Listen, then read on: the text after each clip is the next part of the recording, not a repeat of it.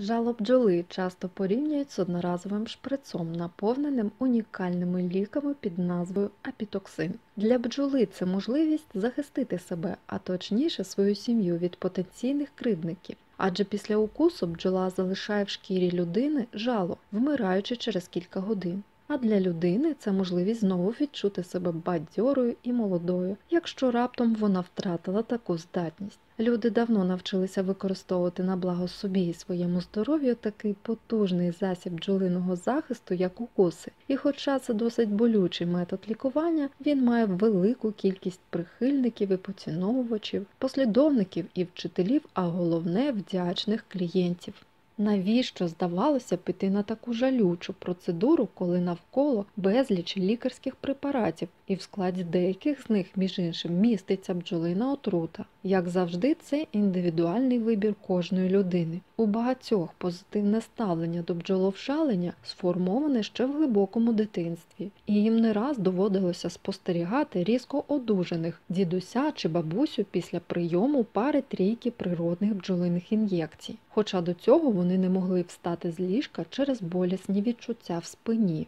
Негативне ставлення до бджіл, навпаки, швидше за все пов'язане з неприємним досвідом зустрічі з цими корисними комахами. Звичайно, варто нагадати, що бджолина отрута може бути небезпечною для непідготовленої людини, особливо схильної до алергії. Вона може спровокувати шок, різкий спад тиску і спазми. До того ж, експерти відзначають, що останнім часом у всьому світі спостерігається процес скорочення медоносних бджіл і збільшення інших видів отруйних комах. При випадкових бджолиних укусах важливо максимально обмежити активність людини. Інтенсивні рухи, особливо коли вона панікує, призводять до частого серцебиття, що призводить до більш швидкого поширення отрути по цілу. Перша допомога полягає в тому, щоб видалити жало з рани, промити місце укусу під струменем холодної проточної води і випити антигістамінний препарат диметрол, супрастин або інший. Надалі варто прикладати лід або холод до опухлого місця.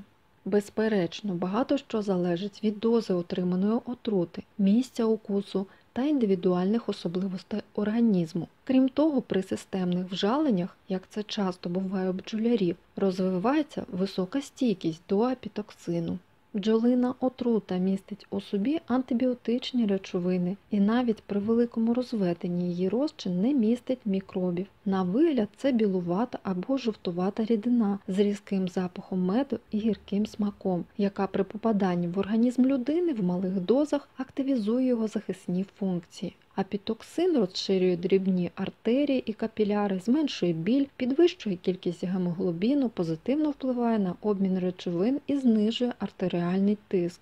Бджоловжалення як запланований метод лікування здійснює фахівець шляхом притиснення бджоли пінцетом на ділянку шкіри зазвичай на акупунктурні точки тіла разом із зубчатим жалом в організм людини, тобто в шкіру та підшкірну клітковину потрапляють мінеральні речовини і кислоти, жири та стерини, білки та вуглеводи, всього близько 50 різних речовин. Щоб уникнути різко негативних наслідків для організму, апітерапію починають з малих доз. В ідеалі уважно вивчають реакцію організму, досліджуючи аналіз крові. Під час лікування краще відмовитися від шкідливих звичок, таких як куріння і вживання спиртних напоїв, а також збалансувати харчування.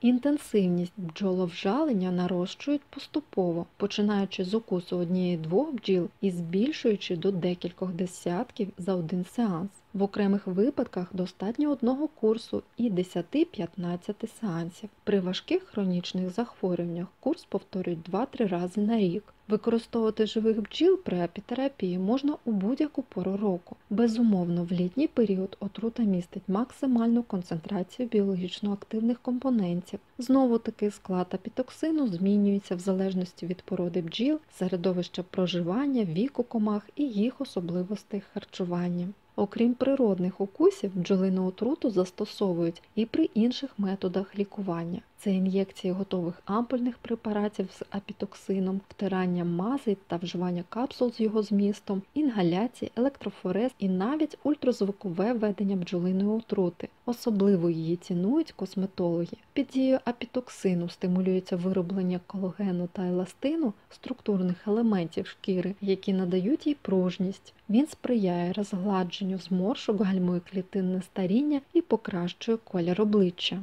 Перш ніж провести курс лікування з бджолиною отрутою будь-яким із зазначених методів, необхідно ретельно вивчити реакцію організму на цей продукт. Як правило, після консультацій з фахівцем проводять біопроби на переносимість апітоксину. Найбільше до нього чутливі діти. Для інших бджолину отруту успішно застосовують для ефективного лікування опорно-рухового апарату, нервової системи, аутоімунних і багатьох інших захворювань. При розумному підході до оздоровлення організму ви безумовно залишитеся задоволені його результатами і станете ще одним шанувальником специфічних продуктів працьовитих бджіл.